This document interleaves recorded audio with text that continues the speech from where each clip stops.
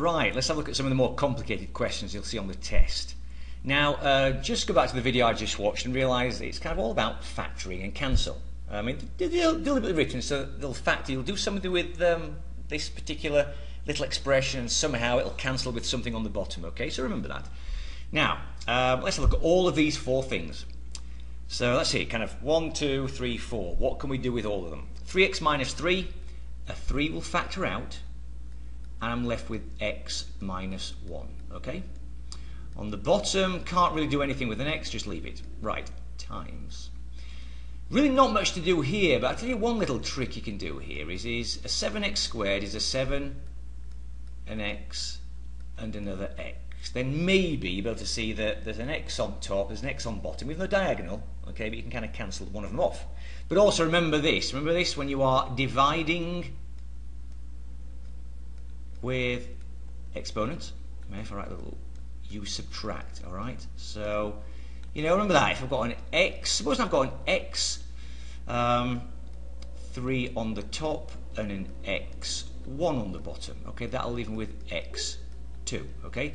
But actually, do remember this as well. Supposing I've got an x 3 on the top and an x5 on the bottom, then what you're really saying to yourself is, okay, look, where's there more of them? All right, where's there more x's? There's more on the bottom.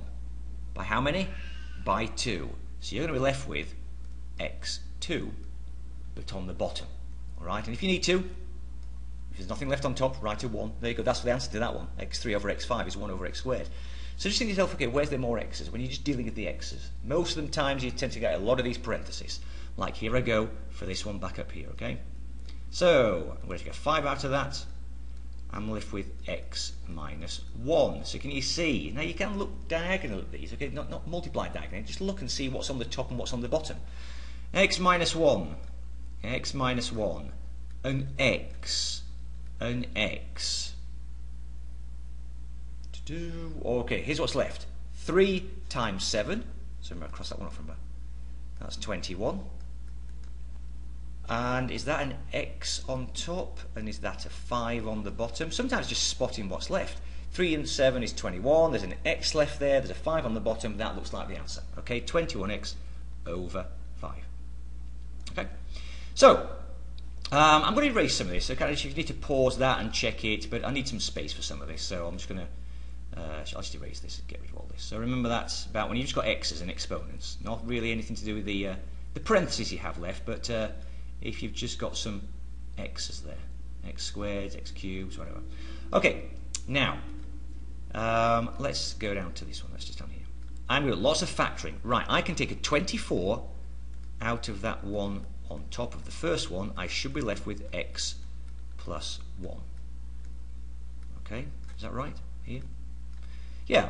Looks like I can take a 4 out of it. Think about your factoring. I can divide both these by 4 and what's left, if I divide them by 4, even if you need to, just put a little 4 underneath, you know, there and there. That's going to be 3x minus 1. Okay, 3x minus 1. Hopefully there's another 3x minus 1 on the top somewhere, not right now. Okay, times. Right, 48 and 16. I can take a 16 out of those. All right, and I'm left with Right, divide that by 16, you know that's the 3x minus 1 as well. And you'll find out that this will happen a lot. You'll go, oh, okay, there it is. I can see a 3x minus 1 on top and a 3x minus 1 on bottom. Get to it later. Right, I can take a 6 out of this bottom one. And if I do, think about it, divide by 6, divide by 6, that's going to give me x squared minus 1. x squared minus 1. Okay, so I've done all the factoring but have I? Okay, so it looks like 3x minus 1 is going to cancel. There's lots of numbers that can still reduce. That 24 and 4 will reduce, you know, 16 over 6. However you want to do it, I'll come to that later. But look, there's something that people always kind of just don't spot. If you go back to the factoring I did with special cases, it's the difference of squares. Look what's sneaking in here. The difference of squares. Itchy nose again. Cat hair. Ah! Right. Okay, so I've got to keep, well, actually, I'm just going to do this. I'm going to rewrite it all again. I know that this will become x minus 1, remember? Square root, square root, a 1 plus, 1 minus. Okay, so that x squared minus 1 has now become this. Now I can see, look, you see this x plus 1 here on the top? This x plus 1 on the bottom? I'm going to start crossing stuff off right now. That's gone, and that's gone. The 3x minus 1's gone, the 3x minus 1's gone. Okay, now, you can do all sorts of different ways of doing this. I mean, if I just do this right now, 24 divided by 4 is 6. Okay? Now watch. There's a 6 on the top, there's a 6 on the bottom. I can see that 16 is left. Right, so far on the top, there's a 16. Right? Uh, what else is on the top? Well, I seem to have crossed out pretty much everything. Can't see anything else. This is some of the problems. You've got to figure out what's left. The only thing I see on the bottom is that x minus 1. Here. Look at that. That's still there. Everything else seems to have gone. So it looks like, you know, fingers crossed, that's the answer. 16 over x minus 1. So this is where you really have to look at all the factoring. Look at questions 9 and 10. I'll do those in another video. But you've really got to spot what you can reduce. Okay, what I've factored, cross off what you can see that's similar, then look at the numbers. Remember, just numbers like fractions that you might want to reduce. But 24 divided by 4 is a 6. I had that 6 on the top, I've got that 6 on the bottom. They can cancel. All that seems to be left is the 16.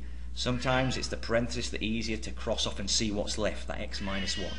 I'll do the other two in another video before I... After I strangle this cat.